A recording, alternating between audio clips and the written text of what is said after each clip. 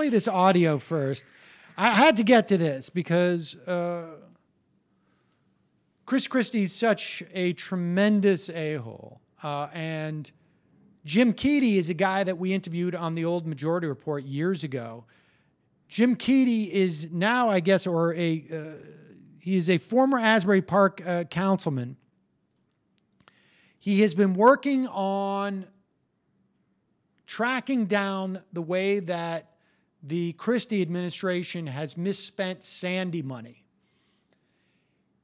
Back when we interviewed him on the uh, Majority Report, he was exposing a lot of the sweatshop activities of Nike. And apparently, at a Sandy event, where Chris Christie had set up a podium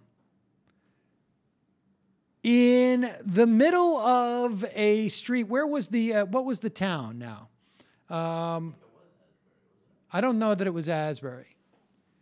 It was. It was downtown Belmar. Okay, downtown Belmar, which is on the, uh, which I believe is on the shore, and now you should know that in downtown Belmar, there's normally not a stage and a speaker's podium and microphone set up. Just in case you were wondering, because it could be confusing when Chris Christie starts to attack Jim Keady, who spent months, took, took literally a month or two off his job to help in, in Sandy recovery. So uh, here is that um, here is that exchange right now from a couple of days ago. Thank you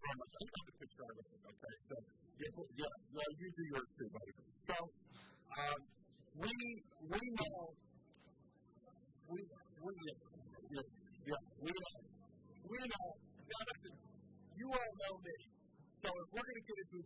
a here today, it's going to get very interesting and very fun. So, yeah, I understand. So, I'll be more than happy to have a debate with you anytime you like, guys, because somebody like you doesn't know one thing about what you're talking about. Just to stand up and show off when the cameras here. I've been here when the cameras aren't here, buddy, and done the work. I've been here when the cameras weren't here and did the work.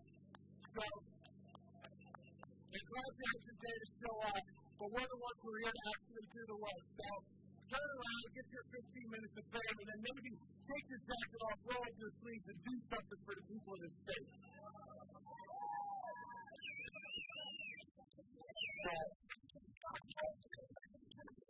So we're two. Now listen, everybody.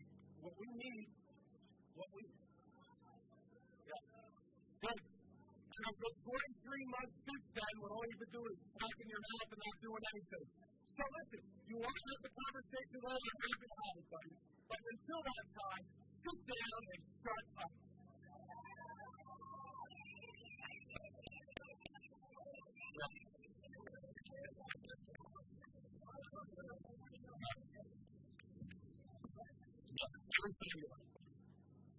Anytime, anytime, anytime you like. It's wonderful. Absolutely. Yeah. I'll tell you. A thousand things I do tonight. Going to dinner with you is about number thousand and one. So uh, there you have it. Chris Christie is sitting there claiming that he um, that he's been there doing the work without the cameras. Well, I mean, wh- when did Chris Christie ever go anywhere in New Jersey without the cameras? Is Chris Christie sneaking into Belmar in the middle of the night, doing the cleanup work? They can't account for literally hundreds upon hundreds of millions of dollars, federal uh, relief funds for Sandy that Chris Christie is not accounted for. But maybe we're going to have to wait uh, until the U.S. Attorney's Office in New Jersey and Southern Manhattan are done with their investigations to find out where that Sandy money went. But um, time will tell. But Chris Christie showing not only uh, is he an a hole, but also full of stuff that you wouldn't want to be full of.